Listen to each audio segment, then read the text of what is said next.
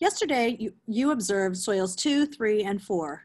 And when you were observing those soils, you noticed that there were various sizes of rock pieces found within the soils. Um, because in the beginning, there was no soil. Everything was pretty much rock, and rock ground down over time as a process, getting smaller and smaller and smaller and smaller and smaller and smaller and smaller until it became a fine, silty, sandy type. Um, and then with the plant material, turned into soil.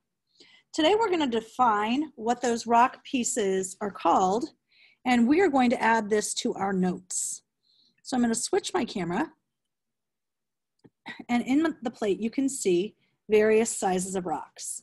So first we have the largest pieces, and I believe soil number two had a lot of this. Soil three did not have any. Soil four had a handful. So soil two mostly had the large pieces of rock. Then we have the smaller pieces of rock. And that was found pretty much with the majority of the soils. This has a combination of little tiny rocks and some small silt.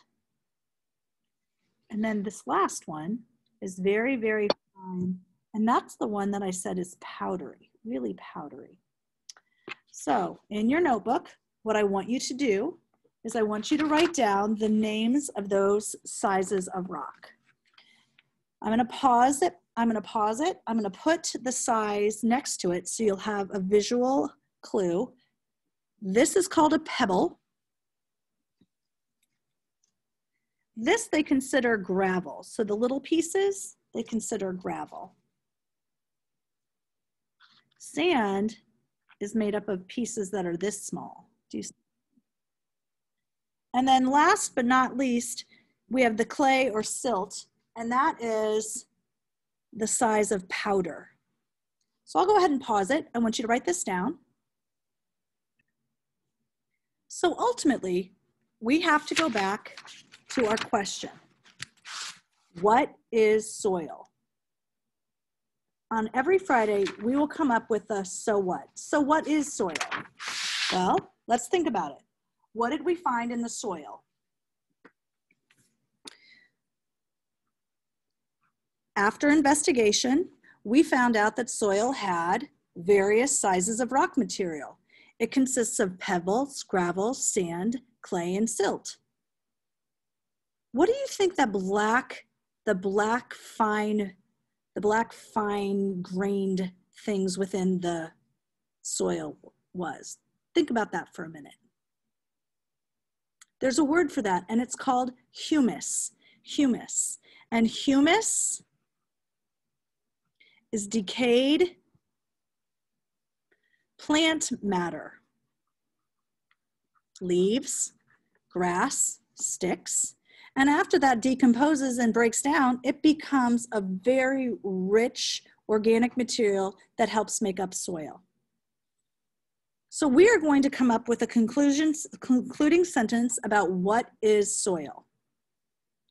Go ahead and write down what you think soil is made up of. I'll write down my answer and we'll compare in just a minute. Okay, now I hope you answered this with your best, best scientific thoughts. So this is the paragraph I came up with.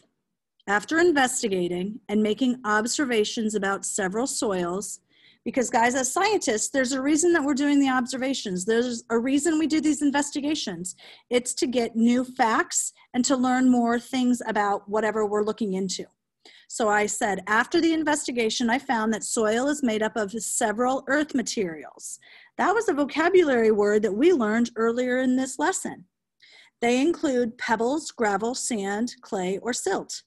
Soil also has broken down pieces of plant material called humus. That's another vocabulary word we just learned. Some soils have more rocks, sand, or humus than others. This is what we're going to investigate next, this next sentence. Please make sure that you have all of this written down um, in your science notebooks. You will need to take a picture of your observation of soils sheet, you're gonna need to take a picture of the observation sheet and send that to your teachers. So that is what is going to be due after you get done with this investigation. All right, I can't wait to start the next one with you on Monday.